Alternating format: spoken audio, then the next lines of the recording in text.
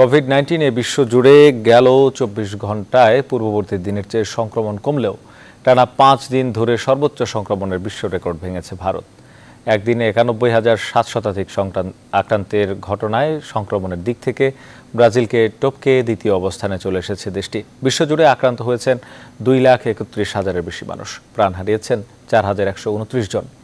এদিকে মহামারীর কারণে বেশ কয়েকটি দেশে দুর্ভিক্ষ শুরু হয়ে যেতে পারে বলে সতর্ক করেছে জাতিসংঘ। অন্যদিকে ভ্যাকসিনের সুরক্ষা নিশ্চিত না হওয়া পর্যন্ত দেশগুলোকে দেশে দেশে অনুমোদন না দেওয়ার আহ্বান জানিয়েছে তিনটি মার্কিন ওষুধ নির্মাতা কোম্পানি। নিবিডামিনের ডেস্ক রিপোর্ট।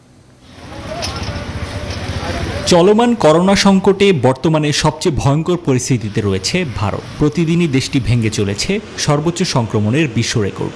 একদিনেই সর্বোচ্চ একানব্বই হাজার সাতশো তেইশ জন আক্রান্ত হওয়ায় এবার সংক্রমণের দিক থেকে ব্রাজিলকেও পিছনে ফেলে দিল দেশটি।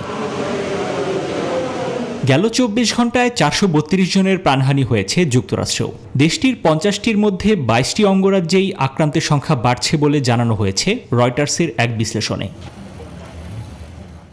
সিরিয়ায় প্রায় দুশো জাতিসংঘ কর্মী করোনায় আক্রান্ত হয়েছে বলে তথ্য দিয়েছে Al Jazeera. Yemen, Sudan, Nigeria, কঙ্গোর মতো বেশ কিছু দেশে করোনা মহামারীর কারণে অবিলম্বেই দুর্ভিক্ষ শুরু হয়ে যাবে বলে সতর্কবার্তা দিয়েছে জাতিসংঘ।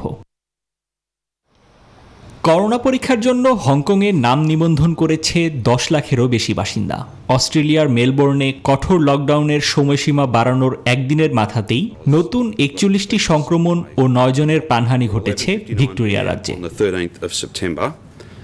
ক্লিনিক্যাল ট্রায়ালের সব ধাপ সম্পন্ন করে সুরক্ষা ও কার্যকারিতার বিষয়ে নিশ্চিত না হওয়া পর্যন্ত করোনা টিকার অনুমোদন না দিতে আহ্বান জানিয়েছে ফাইজার, জনসন অ্যান্ড জনসন ও মডার্নার মতো মার্কিন ওষুধ নির্মাতা কোম্পানি। এরই মধ্যে নিজেদের হাজারো কর্মচারী ও তাদের পরিবারের সদস্যদের কোভিড নাইন্টিন ভ্যাকসিন দেওয়া হয়েছে বলে জানিয়েছে চীনা ওষুধ সংস্থা Sinovac. Nibir Amin, news twenty